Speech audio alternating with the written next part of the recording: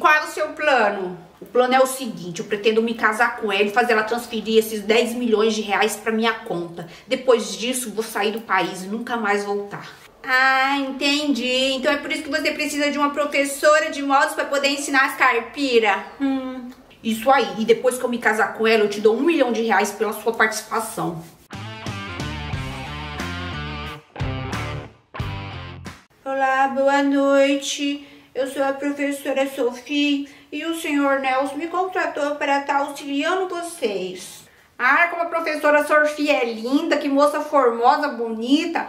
Boa, professora Sofia. Eu quero muito que a senhora dê aula de bons modos, mais para minha filha Doriana, né? Porque ela ainda é mocinha. Eu quero muito deixar ela educada, como as moças da cidade, enfim. Pode deixar comigo, senhora. Eu vou transformar ela numa moça muito educada. O meu faro nunca falha. Essa professora aí tem cheiro de quenga. Quenga? Que palavra é essa, minha senhora? Dona Desuíte, não fique cismada com a professora Sofia. Ela tem vários diplomas, tenho até referências dela aqui. Ela já deu aula na Espanha, Estados Unidos. É uma das melhores professoras de etiqueta que eu conheço. Então fique tranquila, ela é bem recomendada. Não fique desconfiada de nada. Ah, mãe, até a senhora, desse jeito a gente vai assustar a professora Sofia. Não vai nem querer ficar aqui dando aula pra Doriana, mãe parte, dá pra ver que ela é uma moça direito, uma pessoa com diploma, estudada, oxe. Que foi que você tá estranhando a professora? Você não gostou dela, não, é? Pode deixar comigo, senhora. Irei transformar a Doriana em uma moça super bem educada. Se você estranhou ela é porque ela não deve ser uma boa professora. Ah. Olá, Doriana. Dá um oizinho aqui.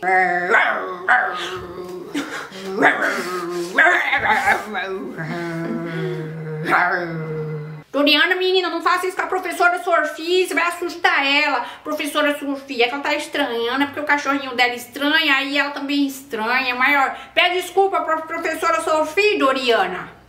Não, essa garota precisa de um exorcista e não de uma professora.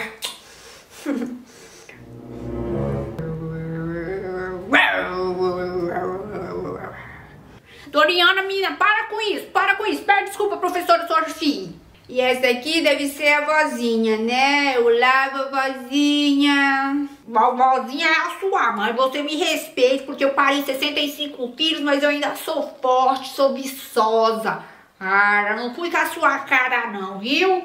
Ai, minha senhora, me desculpe. Ai, professora, você me desculpa, é porque ela não tá acostumada, né? Esse grade grande, primeiro dia, ela tá me assustada ainda, desculpe ela. Conheço gente que não presta de longe, só pelo cheiro. Bom, professora Sofia, fique à vontade aí que eu vou lá pra dentro preparar um cafezinho pra trazer pra senhora e pro senhor Nerso. Fique à vontade, com licença. Bom, vou ficar aqui aguardando o cafezinho da senhora. Bom, eu vou lá fora pra ver se dá pra subir no telhado pra me varrer ele. Nelson, a velha tá desconfiada de mim. Você viu o jeito que ela ficou falando comigo? Eu acho que não vai ser fácil aplicar o golpe, não. Não vai ser mesmo. Fica de boa, é só a primeira impressão. Se, essa velha começar a dar problema pra gente, a gente se livra dela. Bom, agora eu vou lá na cozinha começar a tentar conquistar a dona Gracinha. Vai, vai lá, que eu vou atrás da garota cachorro. Você viu, a garota quase me mordeu. Olha que cozinha mais linda, não sei nem por onde começar. Coisa mais linda. Bom, mas pensa nos seus 2 milhões que você vai ganhar. Vai valer a pena esse sacrifício. Doriana, querida, onde você tá? Vamos conversar um pouquinho, Doriana.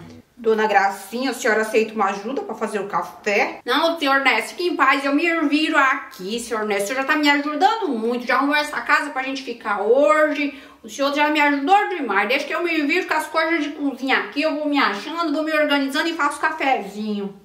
Bom, dona Gracinha, vou deixar o meu telefone para a senhora, vou ensinar a senhora como se usa um telefone, para quando a senhora precisar de qualquer coisa, inclusive de madrugada, a senhora me ligar, porque estarei à sua disposição. Quero ajudar a senhora totalmente em tudo que precisar. Aqui, senhor Ness, experimenta meu café. Obrigada. Nossa, que delícia. É um dos cafés mais deliciosos que eu já provei na minha vida. Doriana, querida, você está aqui? Vamos conversar um pouquinho pra gente se entender melhor, nós duas.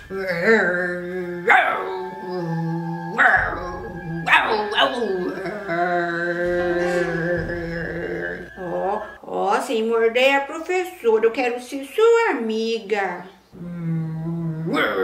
Saco, vai ser mais difícil do que eu imaginava.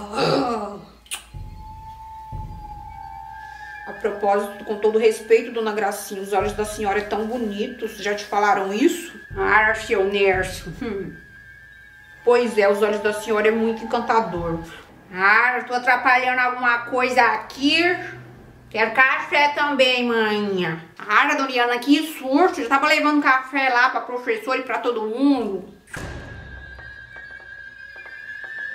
Tchau, seu Nerso. Vó, essa vida de rico é muito estranha, mas confesso que eu tô gostando. Sei não, Doriana, não fica a cara dessa professora Sofia, Doriana. Tiro também não gostou dela não, falou que tem alguma coisa errada por trás dela. A gente precisa ficar esperta, de olho nela. Rara se tiver alguma coisa errada com ela, a gente vai descobrir. Se a gente não conhece ninguém na cidade, a gente não sabe ler, nem escrever, nem nada. Claro que você e a avó tá cochichando aí da professora. Vocês estão implicando com a professora à toa. Uma moça prendada, bonita. Pare com isso. É feio ficar falando pelas costas. Minha filha, você não se engane. Quem vê cara não vê coração, minha filha. Já sei, vó. Eu acho que eu vou falar para ela me ensinar a ler e a escrever. Se eu aprender a ler e a escrever, eu vou saber descobrir alguma coisa, esse negócio de internet aqui da cidade. Aí a gente pode tentar descobrir alguma coisa. Muito bem, é isso mesmo, tem que fazer isso. Tá bom, vó, vou fazer isso. Vou se aproximar dela e pedir para ela me ensinar as coisas. Eu sinto um cheiro de coisa errada nela. Algo me diz que tem alguma coisa muito trás por trás dessa professora. Nelson, onde você foi me enfiar? Não vai ser tão fácil como você parece. Vai, me tira daqui agora, me leva pra minha casa. Logo, logo, logo. Ai, que nervoso, que nervoso. Nunca passei tanta raiva na minha vida. Garota lenta. E a velha Kenga, Kenga. Hum. Ai, que raiva, que raiva. Ela quase me mordeu.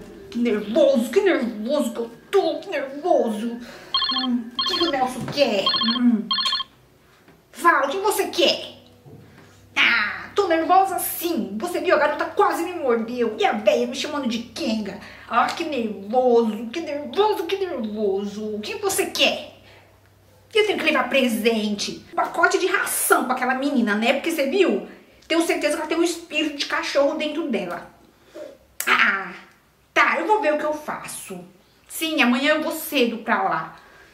Com certeza, né? Eu sei o que eu tenho que fazer. Não precisa você ficar me falando toda hora, né? Ou se você já tá me irritando. Pode deixar comigo. Vou dar um jeito. Tá, tá, tá, tá. Tá, tá, tá. Eu sei, vou ganhar 2 milhões. Tá, é só por isso que eu vou ir até o fim desse plano, tá? sacrifício eu vou ter que fazer. Mas enfim. Só me preocupa mesmo a véia, Nelson, porque a véia ficou desconfiada de mim. Gente, véia, você sabe. Eu vi ela benzendo lá não sei o quê, fiquei meio cismada. Mas tá bom, não vou dar pra trás não. Beleza, amanhã 8 horas eu tô lá. E não me liga mais hoje, tá? Que eu tô super irritada. Tchau. Que nervoso, que nervoso. Agora tomar um banho com álcool pra desinfetar, né? Porque ela chegou a encostar o dente dela aqui, né? Vai saber se ela não tem um espírito do cachorro mesmo. Pode até me contaminar com doença da raiva, né? Porque cachorro tem isso. Eu tomar um banho.